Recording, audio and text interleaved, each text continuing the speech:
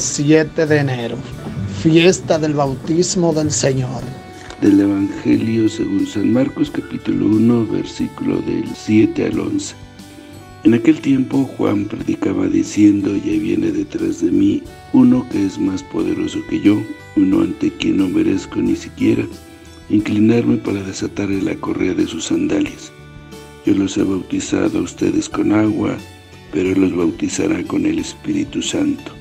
Por esos días vino Jesús desde Nazaret de Galilea y fue bautizado por Juan en el Jordán. Al salir Jesús del agua vio que los cielos se rasgaban y que el Espíritu en figura de paloma descendía sobre él.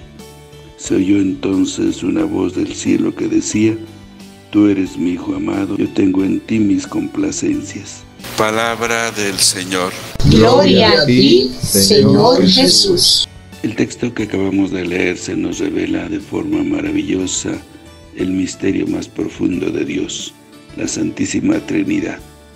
Es una maravillosa teofanía en la que Dios, Yahvé, el Eterno, el Poderoso, el Señor, se revela como una trinidad de personas anunciadas por Jesucristo, es su Hijo, al cual confirma con poder mediante el mismo Espíritu vínculo de unidad entre el Padre y el Hijo.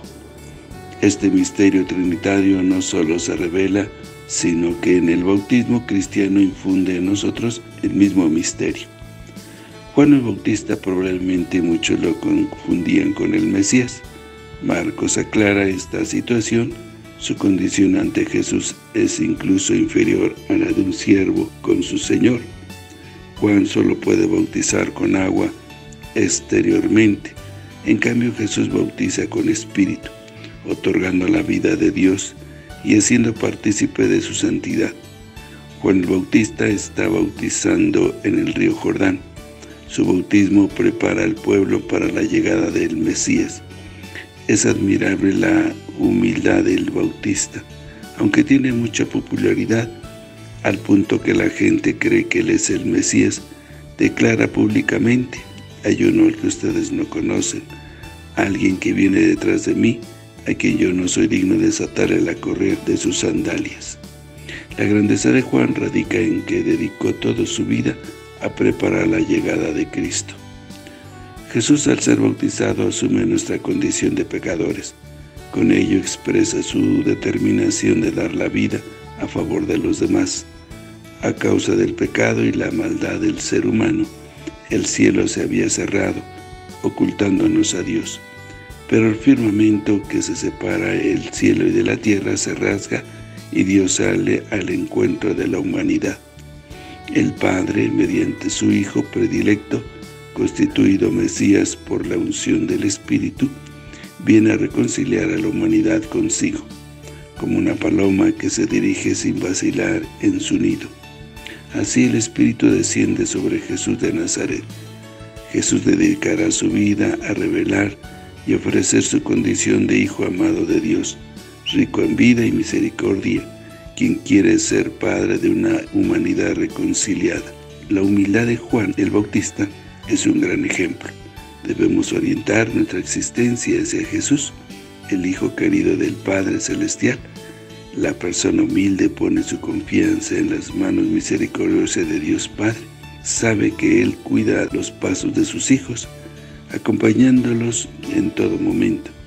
Gracias a Cristo también nosotros desde nuestro bautismo somos hijos amados del Padre.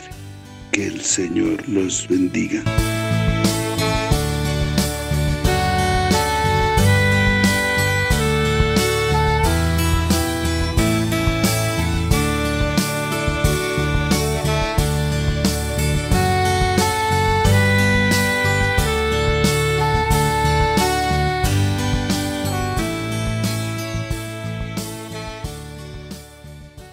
La bendición de Dios Todopoderoso, Padre, Hijo y Espíritu Santo, descienda sobre ustedes, que los acompañe siempre.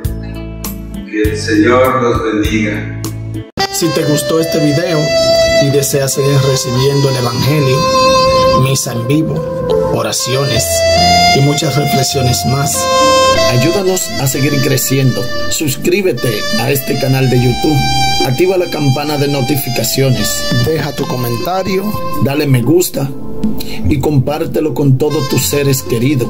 Que el Señor te bendiga a ti y a toda tu familia. Bendiciones.